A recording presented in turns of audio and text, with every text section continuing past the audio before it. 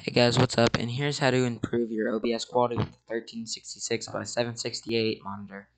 So this monitor that I have right here is my TV, um, because I don't have a computer monitor, and its resolution is 1366 by 768. And normally OBS looks like really bad quality, um, but if you do this thing, then you can make it a whole lot better. So you want to go into your OBS settings. You want to click Video and um, as you can see here, I have it set to 1360 by 768 and 1360 by 768.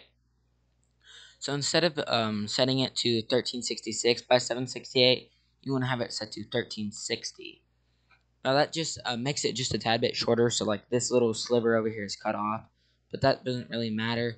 Um, and yeah, you want to have it set to bicubic and you don't want to have any downscaling, so just put the output as same as your uh, resolution. Well, and let me show you the Fraps recording that I took. Uh, this is how I figured it out. If I set Fraps to lossless RGB recording, then um, it looks really good, and it has 1360 by 768. So let me show you how that recording turned out. Let's go to Fraps, movies, and here it is Uh, a 1.31 gigabytes as you can see. Oops. And as you can see, this looks awesome.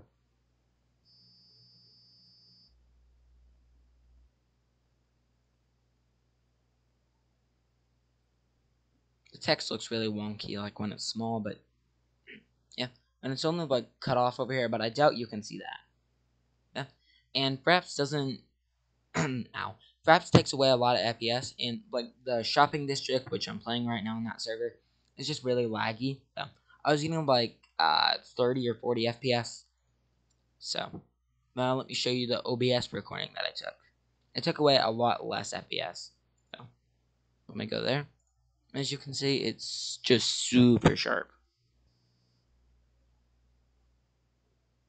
As you can see, and it looks like a lot smoother. But Fraps in the corner is a little bit cut off, but you know that's the price I'll have to pay. And my bit rate on this is not like good. Um, like if I improve the bit rate, then it should look a lot better. And as you can see, I was getting like 50 and 60 FPS, well 40, but I wasn't dipping into the 30s as hard as last time. So. And I, and I say in chat. I forgot how to spell, but yeah.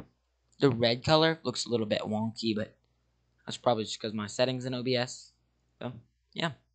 Uh, you can improve your bitrate by going to settings and clicking uh, output.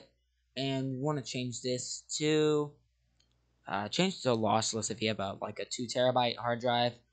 Um, I have a lot of storage, as you can probably tell. So I probably wanted to record it to this um, hard drive that I have in there, not my SSD, because, yeah. Anyway, so that's how.